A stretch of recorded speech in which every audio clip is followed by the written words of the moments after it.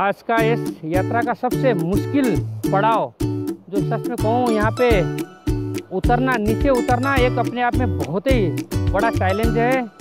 और आपको दिखाई दे रहा है यहाँ पे हमारे साथी कलीग्स एक दूसरे का हाथ पकड़ते हुए नीचे उतर रहे हैं। और इतनी मुश्किल ऑल द बेस्ट फ्रेंड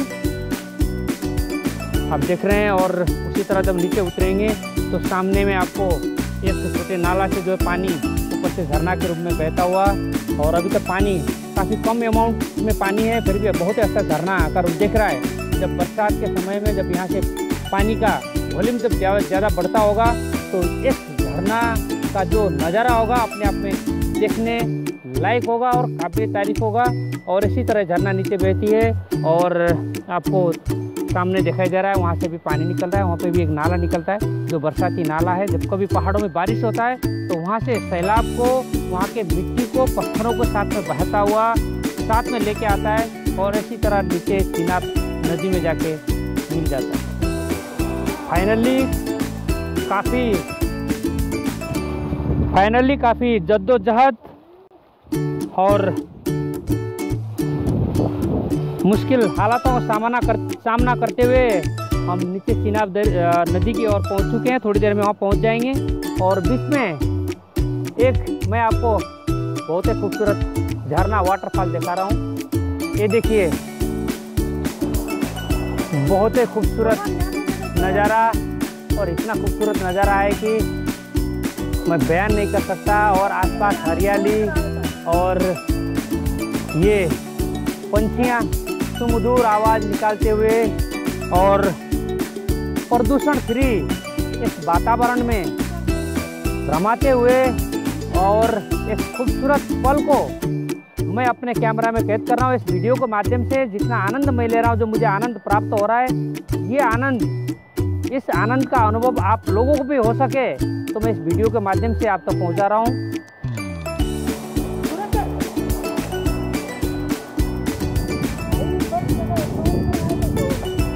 और एक और इधर से वाटरफॉल झरना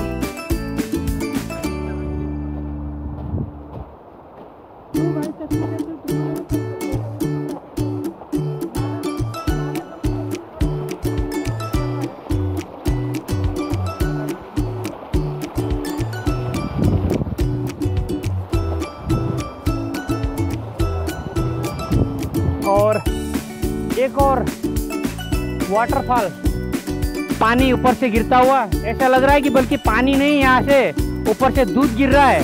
मिल्क एक झरना के रूप में नीचे गिर रहा है, ऐसा ऐसा होता हुआ। वाह, क्या बात है, बहुत ही खूबसूरत नज़ारा। मैं कहूँ तो किसी शायद जन्नत इसी को कहते होंगे, अगर ऐसी खूबसूरत रमणीय स्थल में और पोल्यूशन फ्री वातावरण में और ऐसे नेचर के साथ में अगर आज के इस प्रदूषित इंसान को रहने का मौका मिले तो कहीं न कहीं उनके आयु भी बढ़ जाएगी और साथ ही साथ उन लोगों को, हम लोग सभी को नीरोग के काया भी मिलेगा।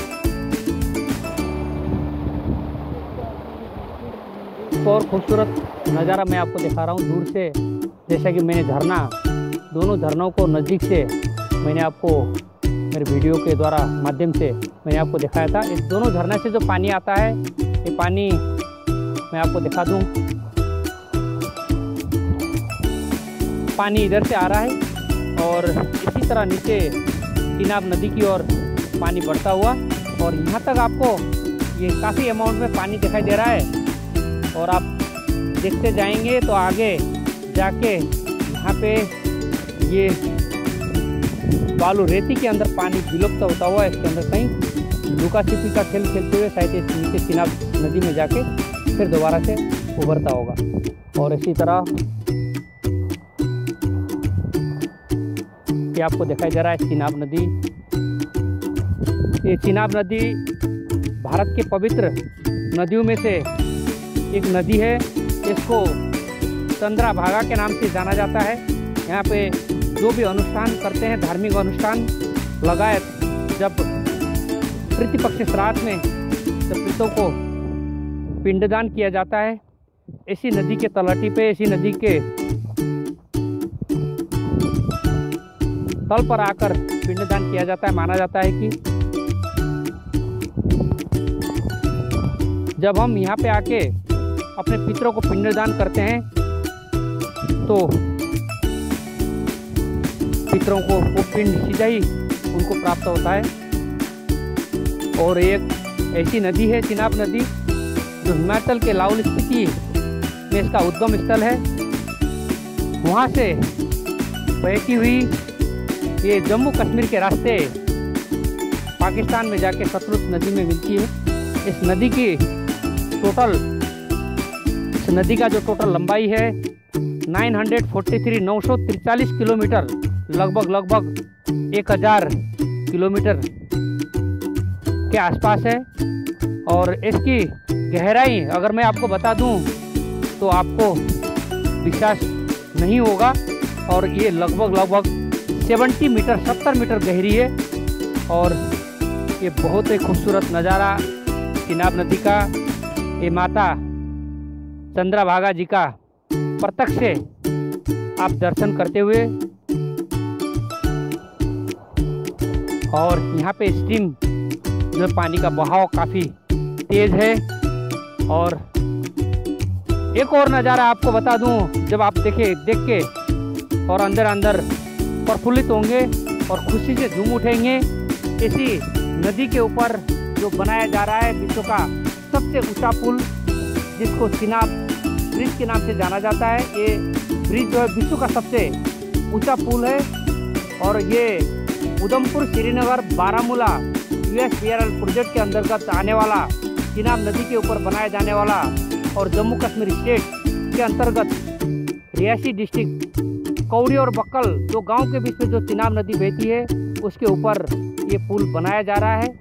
और इस पुल का जो टोटल ऊंचाई है इस नदी के ऊपर तल तलाटी से ऊपर जो डेक लेवल है 359 मीटर जो विश्व का सबसे ऊँचा टावर पेरिस का आईफल टावर है, उससे भी ऊँचा है। और ये भारत देश का गौरव ही नहीं, बल्कि एक इंजीनियरिंग मार्बल भी है। जब ये प्रोजेक्ट बनकर तैयार हो जाएगा तो राष्ट्र को समर्पित किया जाएगा। भारत के, पूरा भारत को डायरेक्ट रेल मार्ग के द्वारा जम्मू कश्मीर के अंतर्गत श्रीनगर से डायरेक्ट जोड़ा जाएगा। तो खूबसूरत पल बहुत ही जल्दी आएगा।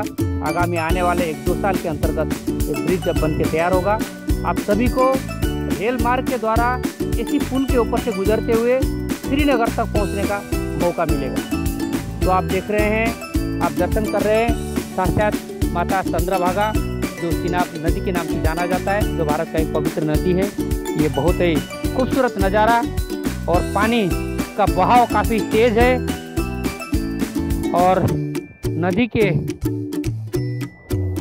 छोर के ओर में अभी मैं हूँ।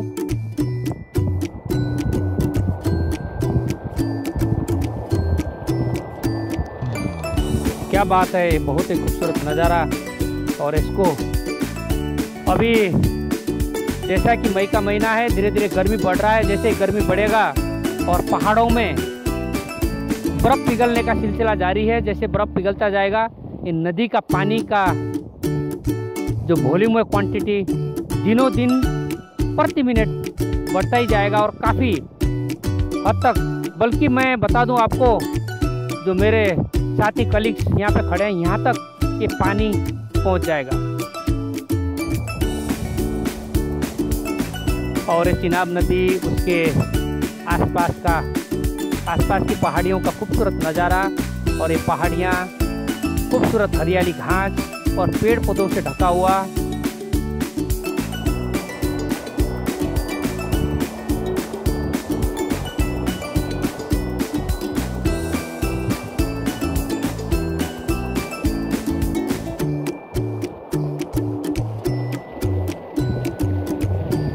ये कल कल बहती हुई चिनाब नदी। आप सभी सैलानियों को, आप सभी यूट्यूब व्यूअर्स जो यूट्यूब के वीडियो देखते हैं, आप सभी को आकर यहाँ साक्षात दर्शन करने के लिए आपको कहीं ना कहीं बुला रही है।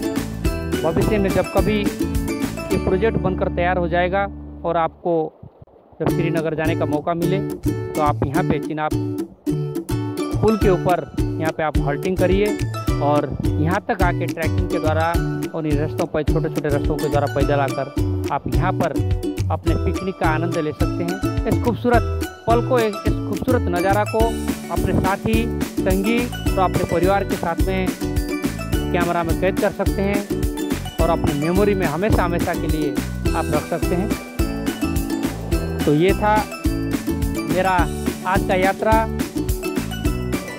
चिनाब नदी तक बहुत ही सांगरे और बहुत ही कंजस्टेड और बहुत ही डेंजर रोड के द्वारा यहाँ तक पहुँचा हूँ। आप सभी को ये खूबसूरत नज़ारा दिखाने के लिए। तो दोस्तों,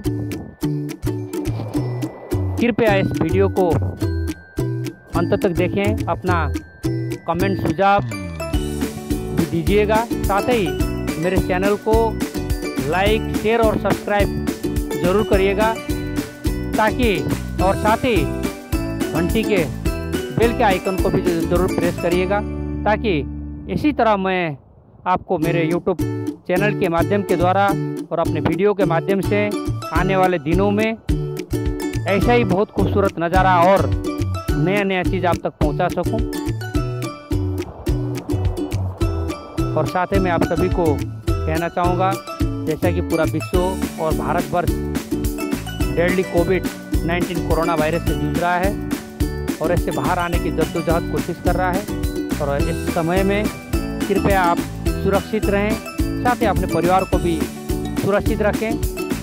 और जैसा कि हमारे सम्माननीय प्रधानमंत्री श्री नरेंद्र मोदी जी का एक नारा है, दो दो गज की दूरी मास्क है ज़रूरी, इसी तरह लगातार आप मास्क पहन के रखें और लोगों से दूरियाँ बना के रखें। अनावश्यक पब्लिक प्लेस में न जाएँ। साथ ही अपने करीबी दोस्तों और रिश्तेदारों को भी यदि आवश्यक न हो तो उन तक, उनसे मिलने न जाएँ और उनको भी अपने पास आने के लिए मना करें।